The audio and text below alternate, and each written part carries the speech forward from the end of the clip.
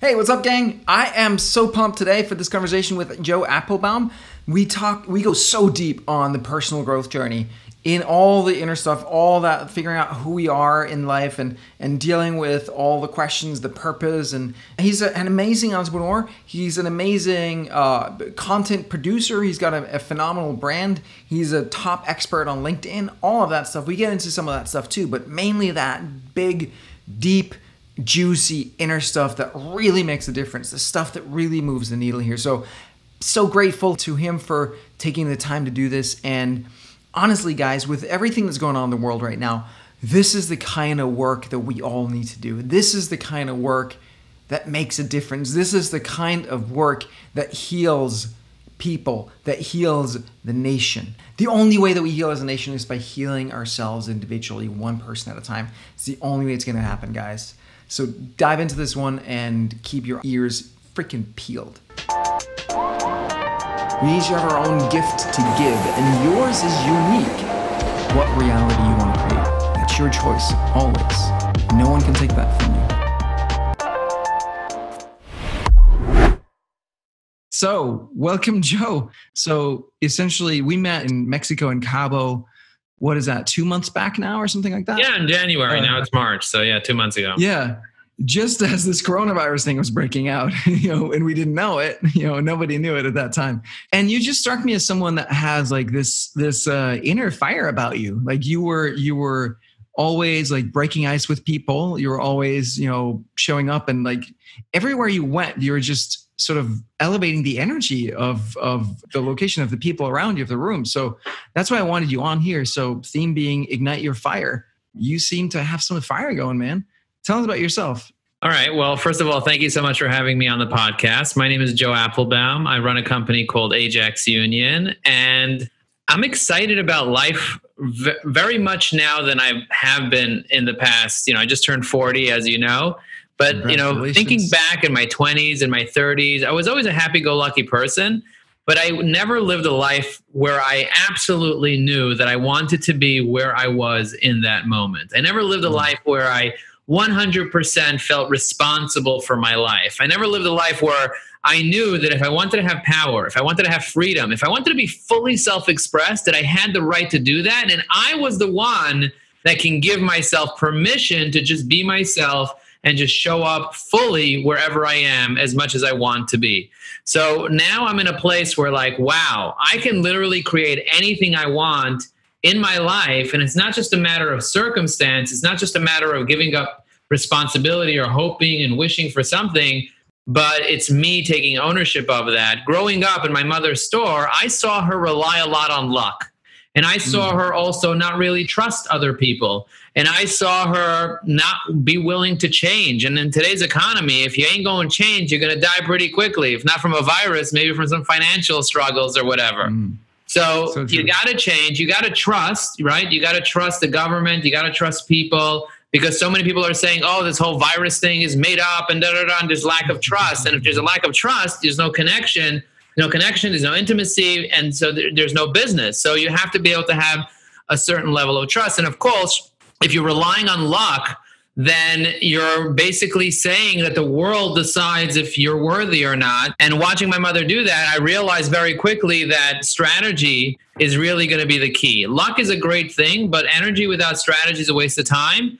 And the right strategy will actually save you a decade. And so I saw my mother for 10 years trying to build her business, and she couldn't get to the million dollar mark. And eventually she went out of business at 9 11 when we had that pandemic and then tourists weren't coming anymore to her stores. She had a store on the Lower East Side and she went out of business. And I said, when I get into my business, when I figure out what I want to do with my life, I'm going to have a solid strategy. So when I launched my business, I was able to build Ajax Union to be one of the fastest growing companies in the US within 18 months. That's kind of like where we were from when I started working full time in the business. Within 18 months, we were number 178 on the Inc. 500. So I look back to ask myself, how the heck did I do that? Because while I was doing it, I didn't really, it's not like I sat there and said, oh my gosh, I know exactly what I want to do. But after I started self reflecting a couple of years ago to write my books and the things that I've done, I started seeing a pattern. I started seeing that there were seven things, seven stages that I had to go through in order for me to go from average Joe to CEO, in order for me to have that passion, to have that purpose, to have myself be on fire, it's not just about making money because you can make money and still be miserable. And it's mm-hmm. not just about success and hitting your goals because lots of people hit their goals and then when they hit their goal, they're like, wow, is that all there is? They've ever heard of celebrities that are depressed and that commit suicide? It happens all the time. That are drug overdosing, it happens all the time. So it's not just about success, it's also about something deep down inside called fulfillment. That if you can really figure out the art for yourself, what fulfillment means for you, you're probably the luckiest person in the world. I love that. I love what you were saying. So, going back to something you said in the beginning there, you found out how to give yourself permission to just be you. Talk about that. Yeah. So, for the longest time, I, you know, because I grew up in a, in a, in a Jewish, in an Orthodox Jewish household, I was taught that the purpose of life is to become a rabbi. And if you don't mm-hmm. live to certain dogmatic principles, certain rules, then you're not living a meaningful life. And when I started getting a taste of business back in my 20s, I started realizing that although I have rabbinical training and I do love teaching and I do love inspiring, what I love more than anything in the world is creating value for other people through some type of business. And I love IT, I love technology, I love marketing. And so I decided that I'm going to get into this, but I've always felt like a little bug inside me, bugging me, saying, you know, this is not the ultimate purpose in life. This is not what you should be doing. So I felt a lot of confusion between the fusion of spirituality and the fusion of just being out there in the workplace and just making money and just, you know, networking and building relationships. And there were a lot of contrasts that I saw where I was doing things that weren't necessarily okay with the way that I was brought up, you know, getting out of my comfort zone, mingling with people that weren't Jewish, and like lots of different things that I had that I really enjoyed doing, getting out there into the world and seeing the world. And what I realized is that the opinions of other people are none of my business. And I can still keep my faith at the level that I want to keep my faith. And I still can create my own connection with spirituality and with God and my own way to inspire other people and myself if I can just take away the self judgment, because no one's really judging me. People are only judging me within this, the world of them judging themselves. So they see me through their own eyes about how they see themselves. So they end up judging me. So that's something that I realized a couple years ago. And then I basically how said, did you realize that? I realized it through a combination of reading books, going to therapy, hiring coaches, going to programs like Tony Robbins and Landmark, and also helping a lot of other people with their own self shame, with their own mm-hmm. self judgment. So ultimately, was there a moment? Was there a specific shifted? moment? I think there was one moment. I was standing in a group where there were quite a few moments, but if I if you, if there if you want to bring it down to one moment, there was a moment where I was standing in a group of 193 people. There were 193 people sitting around me, and I got up to the mic and this was a coaching group where we meet for 40 hours. Um, and people go up to the mic and they start talking about their issues in their life and the things that are frustrating them. And hopefully, with the coach, they're able to coach you to create a breakthrough in your life. And so I get up and I start talking about my history and the fact that my first child was a stillbirth and how hard it was for me and how I couldn't, how I can't live with it. And it's so difficult for me to be able to live with that. And I started getting choked up in front of 193 people and I started to almost cry, right? I felt a lump in my throat and I was like, I can't, I can't, I can't. I feel like I have to cry. And the coach said, So cry. And I just started crying. Even in the moment right now, I feel super emotional, like I want to cry a little bit. And the coach was like, Just cry. And I was like, Why? It's not okay for a man to cry. And at that point, as soon as I said that, I was like, What the hell is that? Like, where did that come from? Mm-hmm. And I what I realized that I have all these self-limiting beliefs around what it means to be a man, what it means to be a Jew, what it means to be a, a member of society, what it means to be a CEO, what it means to be a leader, what it means to be a father, all these self-judgments created by other human beings accidentally, all these patterns and all these beliefs. And so in that moment, the coach basically said, crying is beautiful crying is something that you just have you can attach a reason to why you're crying but you're feeling an emotion now. And when you're dead you're not going to feel any emotion. So whatever emotion you feel just feel the emotion and let it pass because you suppressing it you suppressing your self-expression, you're suppre- you suppressing your feelings is only going to create that energy inside you where you're stuck, where you have like this block. And if you don't want to be blocked, if you want to be free, if you want to be open, if you want to be powerful, if you want to be connected to the energy source, to God, then you can't block this feeling that you have. You have to allow it to flow. So now I just allow it to flow. And I realized the only thing that was stopping me from allowing it to flow is shame. And so, you know, hearing that and seeing, and that that was one very powerful moment because I started becoming okay crying in front of a crowd of people.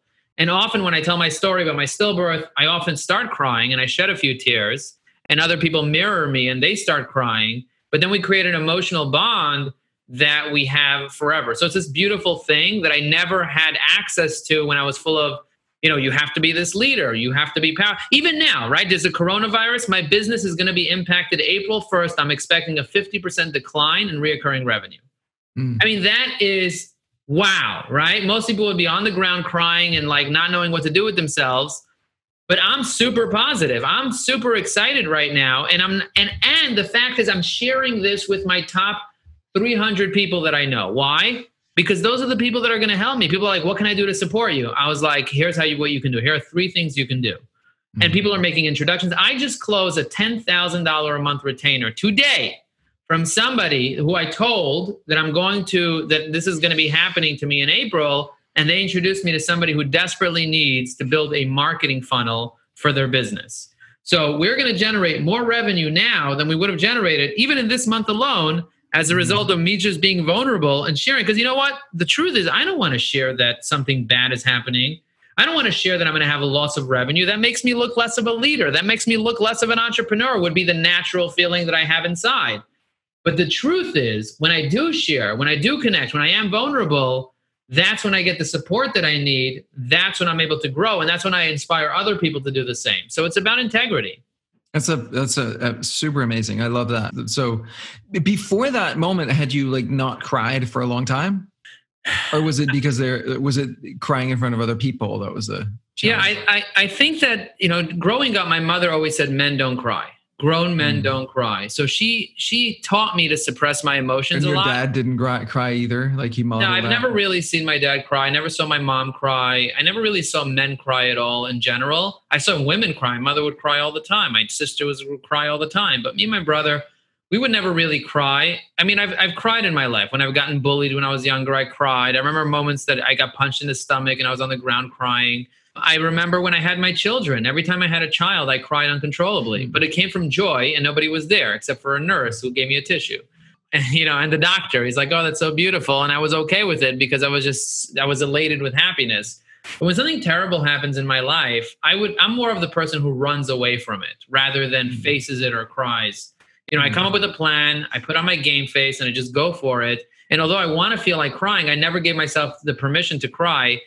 And now i give myself permission so if i feel like i want to cry i will sit down and i will just bawl right now and that is okay I love that. Yeah. That was something that was super challenging for me, right? For years and years and years as an adult, I didn't cry. And I had these moments where I could feel that there were kind of tears pressing, but I couldn't get myself to cry. Even if like I wanted to, because I could feel that it would feel good, but I just couldn't get myself, I couldn't, I couldn't make it happen. So yeah, huge breakthrough through for me when I got access to that again, when I was able to cry again. So talk to me about the spirituality and you know spirituality and business, you know, spirituality and marketing, spirituality and entrepreneurship. That's something that that I'm super curious about myself, right? Like my life purpose I discovered in 2008 is like integrating spirituality and entrepreneurship. So how do you see that, especially you know being growing up in a very Jewish environment? Yeah, so there what I realized is a very big difference between being religious and being spiritual. And that's something I never really knew there was a distinction between the 2 Mhm. Being spiritual means being in touch with the spirit.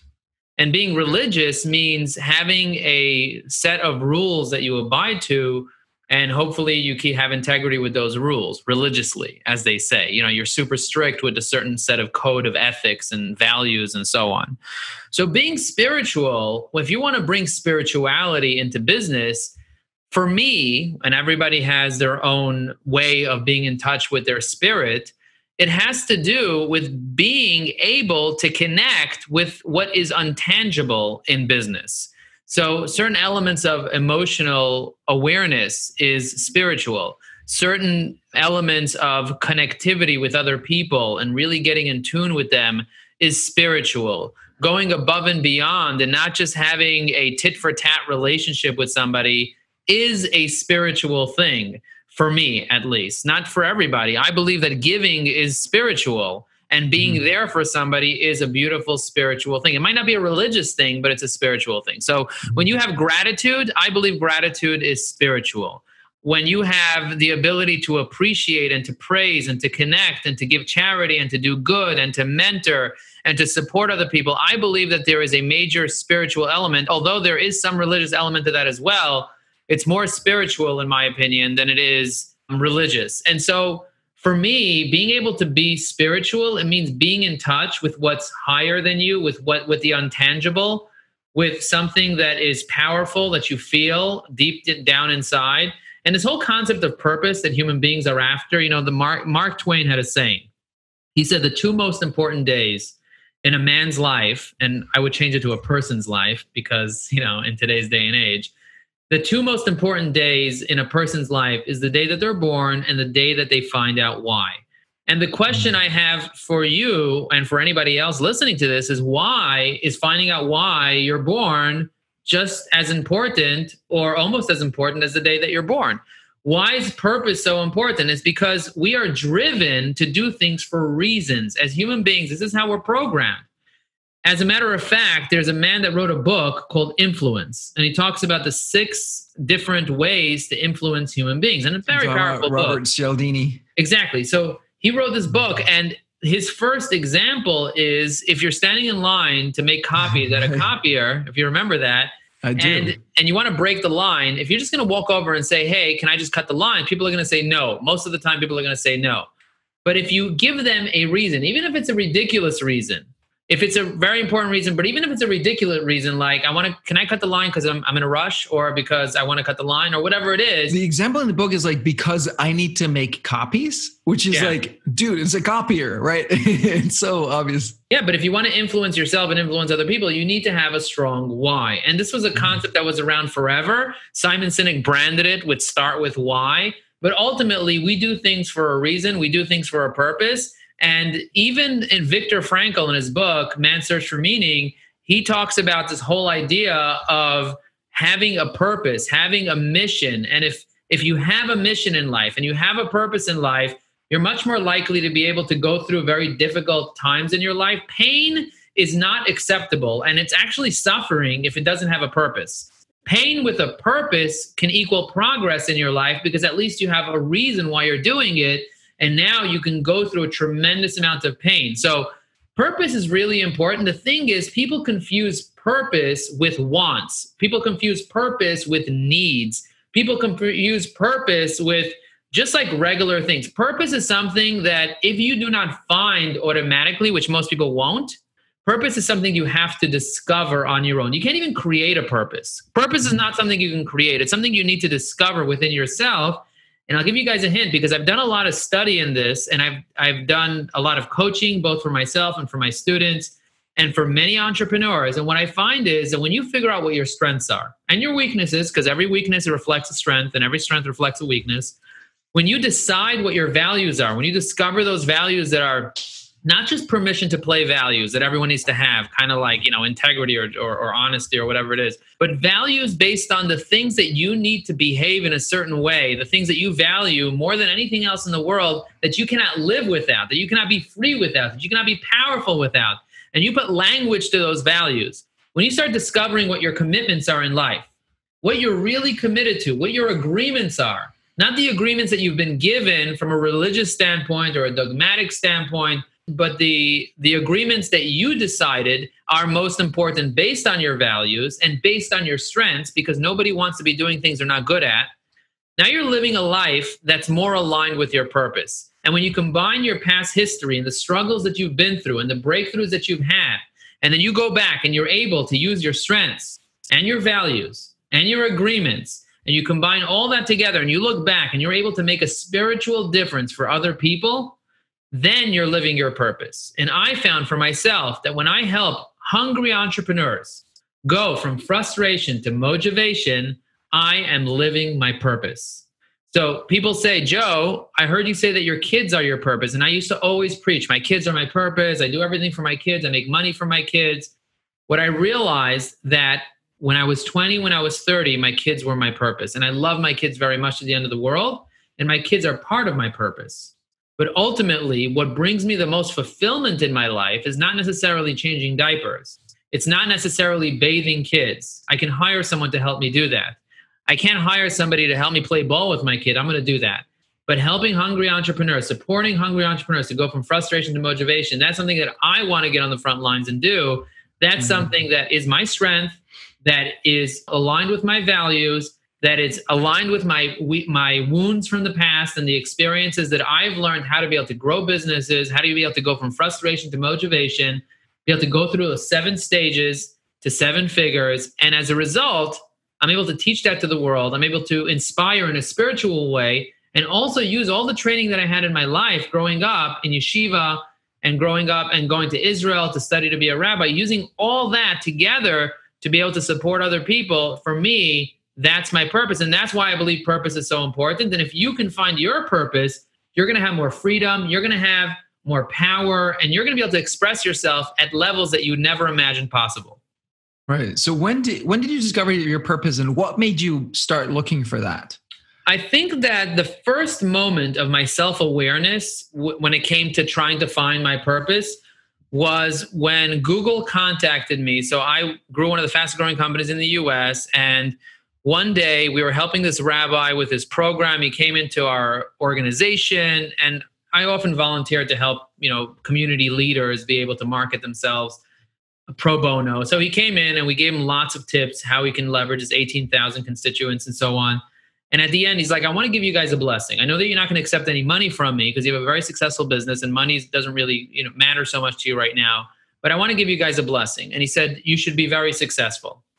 And he's about to walk out. My partner at the time, he's like, you know, he's like, no, no, no, you can't get away with a simple blessing like that. You need to give us an intricate blessing. Let me walk you around our company we have 50 people over here. Let, let me walk you around. Let me show you our company. And then you give us an intricate blessing. So he walked him around. He spent two minutes walking around the company. And then he said, he turned to both of us and he said, You guys should be able to inspire tens of thousands of people, be able to make a real difference in the world, and be able to live a life of meaning and purpose. Okay. And then my partner was like, Okay. He shook his hand and he left.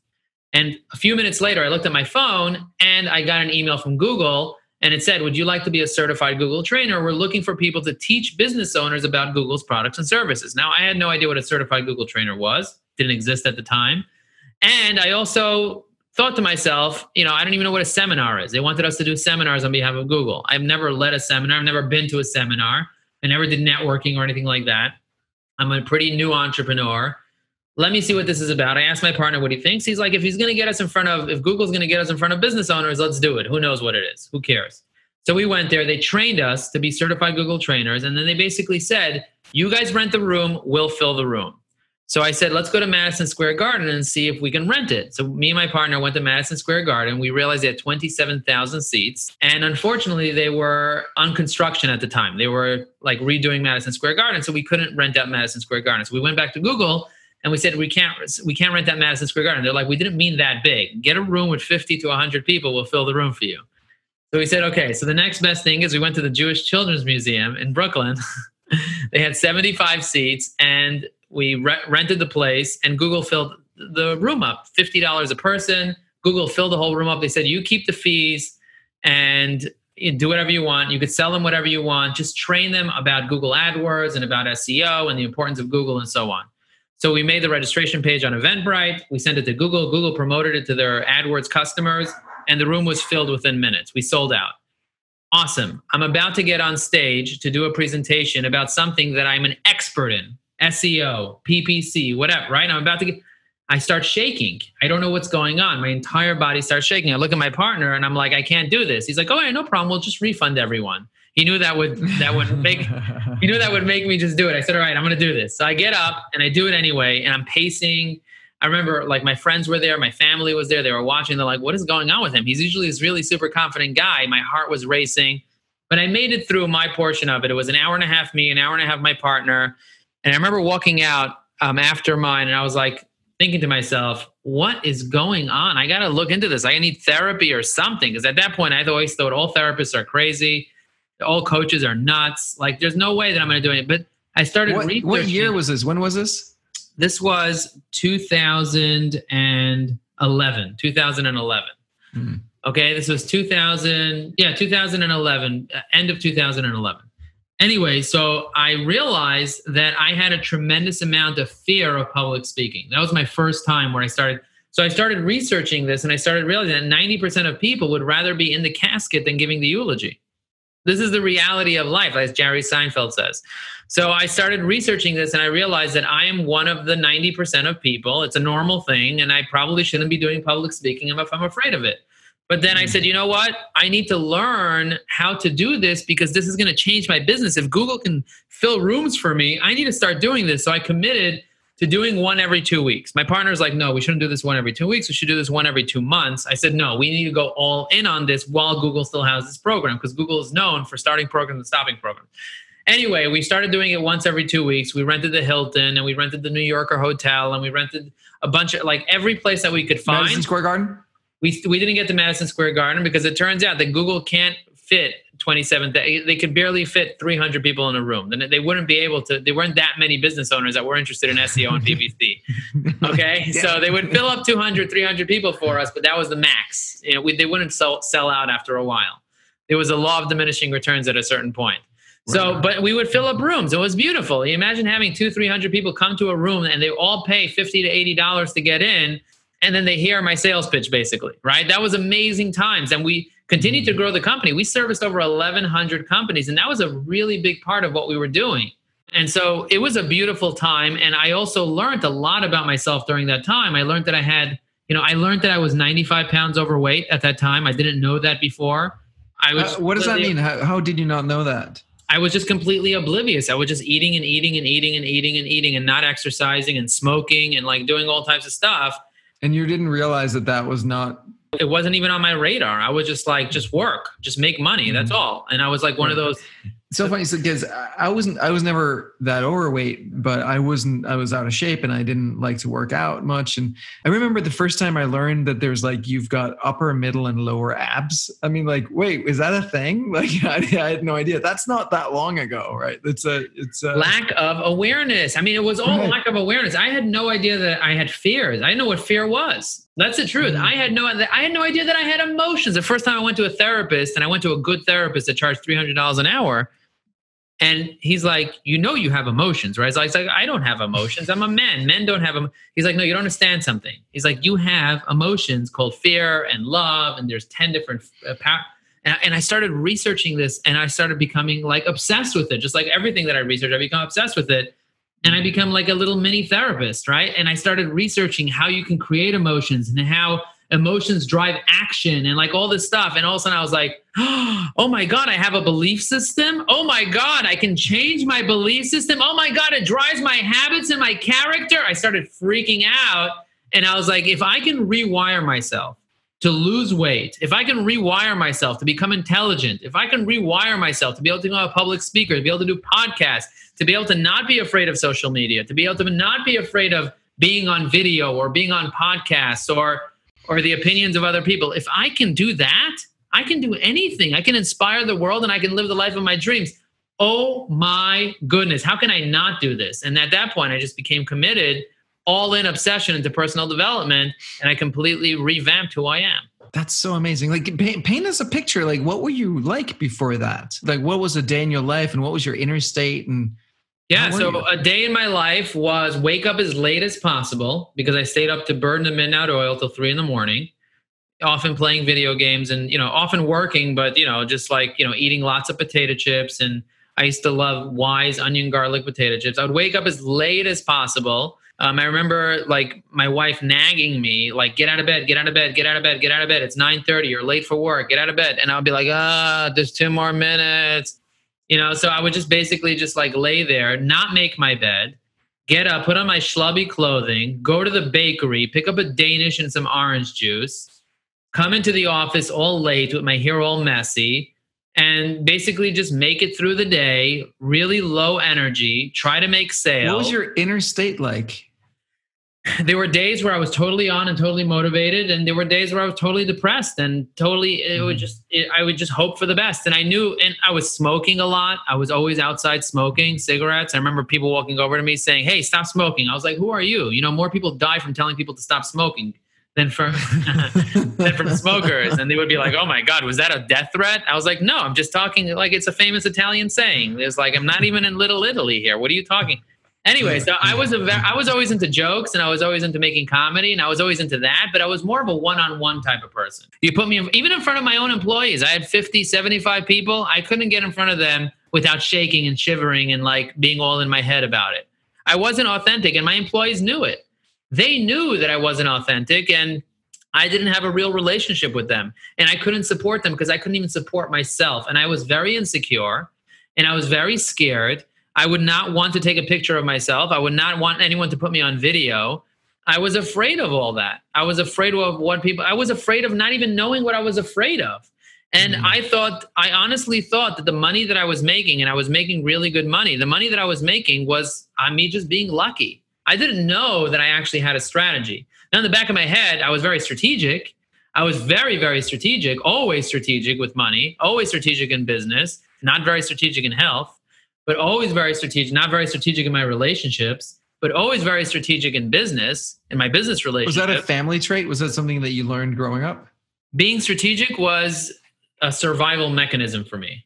So when I was in school, I had a teacher who asked me to read. Okay, this is an early, early memory of like third grade or second grade. He asked me to read, and I always wanted to read fast, but I never really was able to read fast. So when I got up to read, I was reading really poorly because I was trying to read fast to sound smart. And my teacher told me, he, what he what my teacher probably told me was, "Please sit down. You're done." What I heard was, "You're such a dumbass. You don't know how to read. Please don't ever read again. Sit down." That's mm-hmm. what I thought I heard, and that was the memory of it. Obviously, a teacher would never say that to a student, but that's what I remembered. And so I always thought I'm just a dumbass. And the reoccurring thought in my head is, "You're a dumbass." So in fourth grade, I decided I am going to prove to the world that I am not a dumbass. And I became the smartest kid in the class, even outsmarting the teacher and becoming the class clown. So I would pick everything up quickly. I was a class of 30 people. I'd pick it up right away. And then I would be like, all right, I got this. And I would start doing spitballs and farts and all types of stuff to make the class laugh because I wanted to show how smart I was. And I would get kicked out. So every year I would get kicked out. And in eighth grade, I got kicked out, but I was also the valedictorian. So they had to bring me back so because I was the smartest kid in the class, or at least I promoted myself as that, and the teachers knew. And the, I remember the teacher. I remember a teacher in eighth grade. He said, "Joe." Uh, he didn't call me Joe then at that point, but he, he sat me down and he said, "You know, you're a really sharp kid. You're really, really smart. If you set goals in your life, you can literally accomplish anything you want. Why don't you set a goal right now? And I'll be back in a few minutes." And I thought to myself at that point, I remember thinking myself, my goal is to get out of this room and never see this teacher again. and when I left that room, I never saw the teacher again. That was my goal. And I was done with it. I was done with school. I got kicked out of every school. My parents sent me to Montreal. I got kicked out. They sent me to South Africa. I got kicked out. They sent me to a school in Brooklyn. I got kicked out. They sent me to Israel. In Israel, I somehow made it. I got kicked out of one school, but I somehow made it. And I got my rabbinical degree last minute. I was like, you know what? Let me just get this and get it done with. But at the end of the day, I just I I didn't I don't like authority. That's something that I repel. And as an entrepreneur, it makes perfect sense. But then I didn't really understand myself and I didn't understand the urge that I had to be free. And I was looking for all types of exits, exits like alcohol, exits like uh, like smoking cigarettes, exits, you know, lots of different exits for me to kind of run away. Video games was a great exit. I'm amazing at video games. So looking back at my life, I had this like thorn to try to be smart. And that's why I became so strategic. And that's why I am so strategic. And that's why when you put me in a room with people, you know, I don't know if you remember this, but when you gave your talk in Cabo, people looked at me and they're like, damn, that guy knows shit. Right. That guy's like, I, I want I want to talk to this guy. As a matter of fact, you even wanted me on your podcast after because that's my my I have to be that way. I have to be the smartest person. That's just what I have to be. And for me, it is a competition because one of my top five strengths, believe it or not, is competition. There are 34 human strengths. If you do the strength finder, which you probably know about, Yeah. Gallup Center has this, and I do this for all my employees because I need to know which one of my employees are achievers, which my uh, uh, my employees are relators, which one of my employees are futuristic ideators, which one of my employees are are people that are going to start things and not be able to finish things like me. So I need to put the right butts in the right seats, and I need to know people's strengths. So, you know, that's basically the idea. Mm. Tell me about like what what so in that journey it's like it's an incredible journey that you've been on from from where you were right you're painting that picture to who you are today and and you know how you're showing up right now how I saw you in Cabo what are sort of some of the the darkest or scariest places that you had to go to get here there were many dark places that I had to go one of them that really stands out was no matter how much money I make, I always think that I'm going to go broke and I'm not going to have enough for my family. No matter how much security I have, I feel like, you know, right now, for example, right? I feel like the, the, the sky is caving in. Like, I feel like everyone is like, people are dying. There's a pandemic. There's no toilet paper or rubbing alcohol in the store. I went on a hunt to go look for rubbing alcohol. I don't need rubbing alcohol. What do I need rubbing alcohol for? But I'm like, and, and then after I, I finally got it, I was like, I got rubbing alcohol. Yeah, baby. And I realized it's kind of like getting another million dollars. It's like getting a, buying another house. It's like all that stuff. We're in a very dark time right now. And I had many moments in my life that are just like this where I'm running after rubbing alcohol. And then when I get the rubbing alcohol, I realize I do not need rubbing alcohol and I will never need rubbing alcohol in the foreseeable future. And if I need it, I could probably find it. But why are you running off the rubbing alcohol? And I take a moment and I sit down in my car with my face shield. I actually bought a face shield just in case, you know, riots happen and I need to start running through the streets and I don't want rocks in my face. I start re- realizing that all this security, all this false security that I think I have for myself, all this is meaningless. All this is meaning. If you're going to catch coronavirus, there's no alcohol that's going to make you not catch the coronavirus. It just mm-hmm. is. If you're going to catch it, you're going to catch it. Of course, you should wash your hands but you don't have to be crazy and have an unopened bottle of rubbing alcohol in your desk in your studio. That doesn't. I'm sure, it's going to help. Just like you know, chase away the bad spirits or something, right? I want to be spiritual and chase away the bad spirits. What I need to start doing is giving more charity. What I need to start mm-hmm. doing is reaching out to the people that I love and reassuring them and letting them know that everything's going to be okay, as mm-hmm. opposed to having a bottle of unopened alcohol. And that's kind of like a reminder for myself. I keep it on my desk here to remind myself Stop chasing meaningless things in life. Stop chasing things that are going to potentially bring you some happiness that you got to the end of the tunnel, but ultimately they're not going to bring you fulfillment. And right. so moments moments like me chasing alcohol, there are so many moments of me just running after it and trying to make it big and like leaving all the amazing opportunities, not being able to smell the roses. So many moments like that. I remember when my partner left me, he decided he's he can't take it anymore in the business. He was like, he decided he, he doesn't marketing agencies have lots of ups and downs you add clients you lose clients you add clients and you lose clients so as you're going if you're trying to double your business every single year there's going to be a lot of pressure a lot of cash flow pressure a lot of issues in trying to grow your business so going from a million to two million to four million and continuously trying to double is there are going to be a lot of issues so at one point my partner basically said i'm done i no longer want this and I, and I sat down in my room and i almost started crying i didn't but I almost started crying and I was thinking to myself, I'm doomed. I am I am doomed. This is the end. Because I don't think I can do this on my own. I needed him. I needed him to start this business. The truth is I didn't need anybody to do this, but I felt like I did. And if you believe something, that's what it is. And I literally called him up and I said, "You know that this business is not going to get anywhere. As a matter of fact, it's going to retract and go out of business if you leave." He's like, "I need to do what I need to do and I believe in you." And I, I became really, really sad. And for almost a year, I was basically just in my own head. For almost a year, I was basically in my own head, even running away from the business.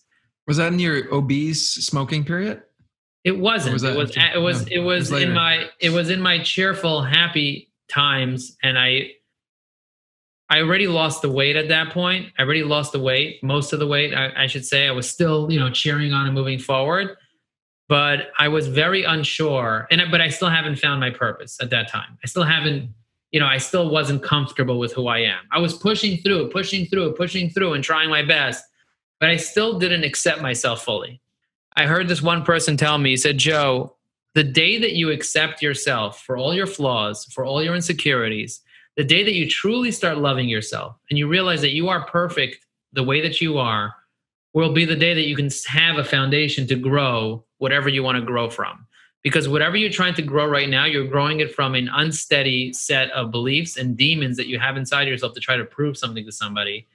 And that's a house that of cards. That is so powerful, Joe. That is so powerful, right? Like, I feel like we all, like, everybody needs to get that and understand that. Like, until that clicks, nothing else matters. And even, I feel like it's even something that we have to remind ourselves of, right? Because there's that the other thing is so ingrained in us and also in in our culture and our society, right? So there's so much pressure to kind of fall back on.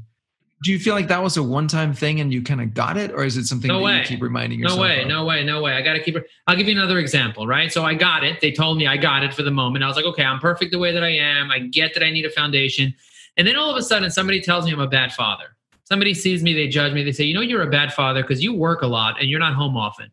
And although you're committed to giving your kids 45 minutes a week for each of your five kids of dedicated one on one time, besides telling them that you love them every single day, that doesn't make you a good father. You're a terrible person and a terrible father because you care more about your business than you care about your kids, right?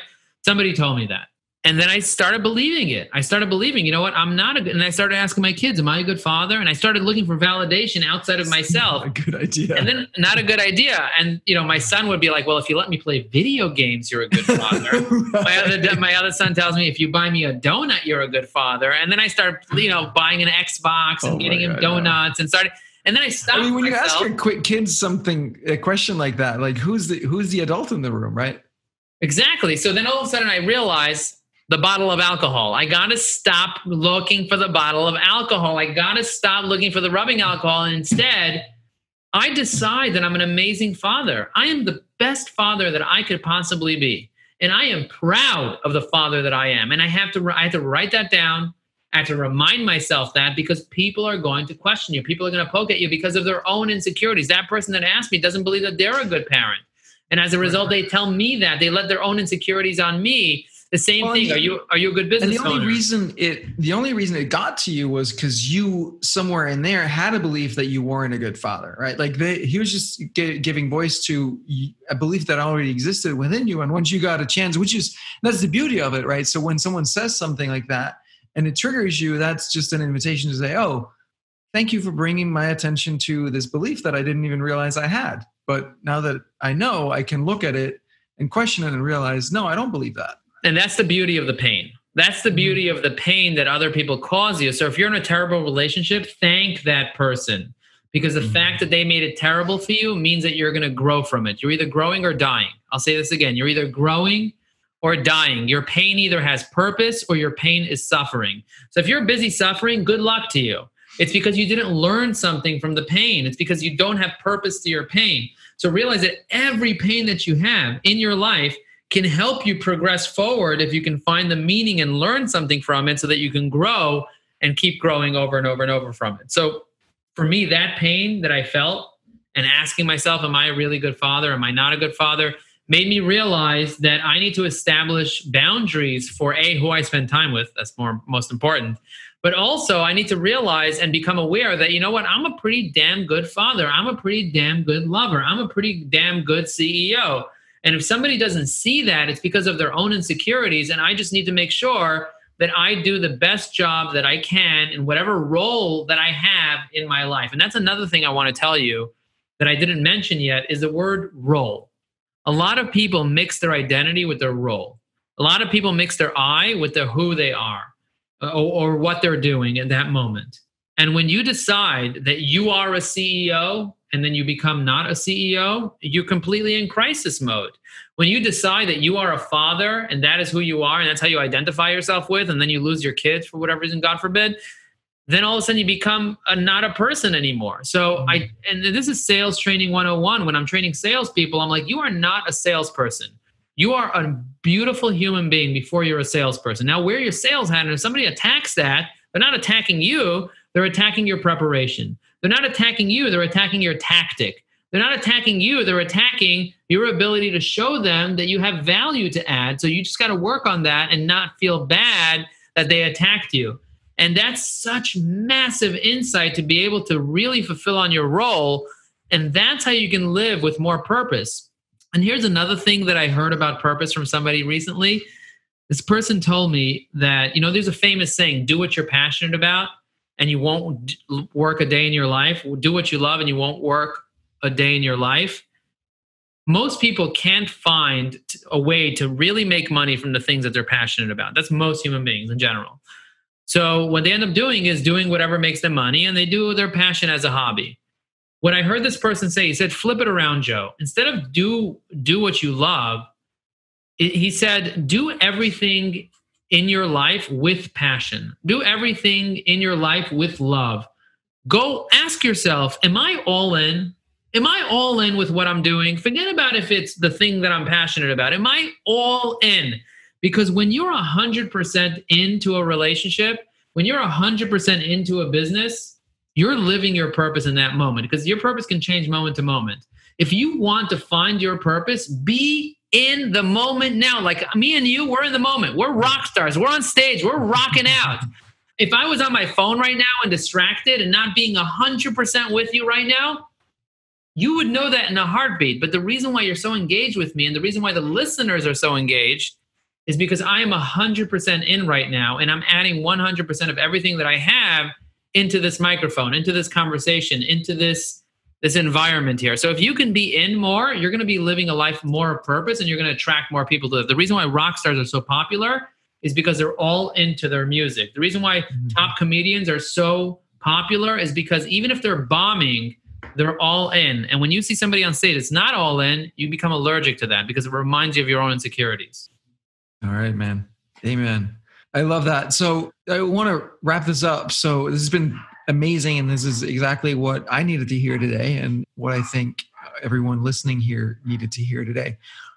I like to think of like one of the things that we want to do as parents is we want to teach our children everything that we've learned about life, about how to be successful in life. And by that, I don't mean monetarily, um, although that's a part of it, right? It's as much relationships and health and that sort of creativity or purpose or that special thing that we add, right? What is the thing that you want your kids to take away from what you I used I used to want that a lot. I used to want my kids to be financially free. I used to want the kid my kids to go through the journey that I went through and to be able to learn. I always said I'm not going to support my kids financially. I want them to figure it out on their own. And so and then I, and then I took a step back and I realized that each of my kids have their own journey each of my kids have their own mission, have their own lessons to learn. And who am I to take my kids through my journey? How selfish would that be to deprive my kids of their own journey, whatever that journey needs to be?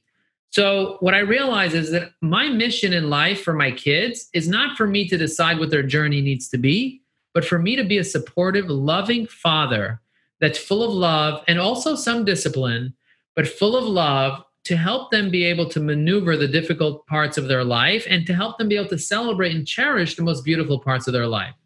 Children need a stable parent. They need stable parents. They need people that they can rely on when they need to rely on them. And they also need parents to stay the hell out of their way as they're continuing to grow. If you sit there and micromanage your plant, you're going to kill your plant. You got to water it, make sure it has sunlight, spray a little bit, give it some love, and get the hell out of the way. And that's how I feel with my children. And that's why I feel like I'm such a good father because I'm not micromanaging my kids. I give them love when I'm there. I wake them up in the morning. I make sure they have food and shelter. I make sure they have the love and the discipline that they need. And then I get out of their way. I get out of the way. I'm not I'm making sure they're safe. I ask them all the right questions and I'm out of their way. And I don't feel like I need my needs met from them. And so I think that's great. I think it's phenomenal. So, so tell me though. So let's like, for the sake of of uh, experiment here, or um, play with this idea. God forbid that you're gone, that you're not here, right? And you want to leave your kids some kind of note that's going to help them. What would you? What would that say? Um, I actually wrote it down in one of my books, what I want my kids to know about me. But the idea is that you are perfect the way that you are. You are much more powerful than you have been trained to believe that you are. And you could literally accomplish anything. So get to know yourself and go add value to other people. get to know yourself, figure yourself out. And it's a never ending journey to figure yourself out. So go do the work, figure yourself out, get in control of your mind, get in control of your emotions, and live your best life because you only get to do this once. Amazing. I love that. Thank you so much. Let would you mind letting people know just where they can find you and I mean, you know I know you have an agency. I know you're really really sharp on the linkedin specifically but like what is what what are the services that you offer and where can people find you so it's really easy to find me if you go to joelinkedin.com you can connect with me and follow me on linkedin so definitely reach out to me let me know that you heard me on this podcast joelinkedin.com really easy to spell j-o-e linkedin yeah. yeah. you're always super active on LinkedIn. That's awesome. I yeah, so super that. active. And if you click on my about section, even if you're not logged into LinkedIn, you can see my about section. I have a list of my companies. I have a list of what I do. You know, set we build funnels for companies. We have a LinkedIn training program called Evergreen. We have lots of different tools that can help you be able to go from frustration to motivation to be able to help you build your business. So definitely check out my LinkedIn, connect with me. And if you want to set up a call to do a little strategy session about your life or about your business, I have some entrepreneurs that contact me for coaching. So I'm happy to support you in any way that I can. I speak to about a thousand people a year. So I'm, I would love to have a conversation with whoever wants to talk about their life, about their purpose, about their meaning, about their business. And I'm always, I always love to share my gift of ideations. I have a gift called ideation. I come up with lots of ideas very quickly. I have a gift of strategy. I'm very strategic. So I love giving my strengths away. So if anybody needs support in that area, I'm happy to help. It's amazing, man. That's amazing. Yeah. And the right time to sort of invest in advertising and marketing and that type of thing is when the economy is great. That's the right time to do it. When the economy is down, that's the right time to do it. It's like, it's always the, the time to invest in not just in advertising marketing but in your in your business and in yourself right it's always the yeah i mean there's one thing that nobody can take away from you it's your own personal development so mm-hmm. that's something that I learned early on. Like if I invest in myself, I'm going to have a 10x result in my business and in my life and whatever I put my focus in. Totally. Uh, and in terms of marketing totally. your business, if you're not top of mind, if you're then you're out of your mind. If you're out of sight, you're out of mind. If you're out of sight, you're out of your mind. You got to stay in sight because when you don't need the revenue, that's great. You should still be marketing because you never know when you're going to need it. So stay top of mind, nurture your clients, nurture your prospects. You know, we're going to be down possibly 50% in April, but I'm not worried because I've been nurturing hundreds of people over the past several years that I can just tap into right now. So there's an endless potential of clients out there and prospects that you can tap into, but you've got to be consistently marketing yourself. All right. Thanks, Joe. Thank you so much for listening to this podcast episode. After 20 years as a serial spiritual entrepreneur, it's my passion to share lessons insights, and ideas that I picked up along the way. So please subscribe and share if you found any value from today's conversation.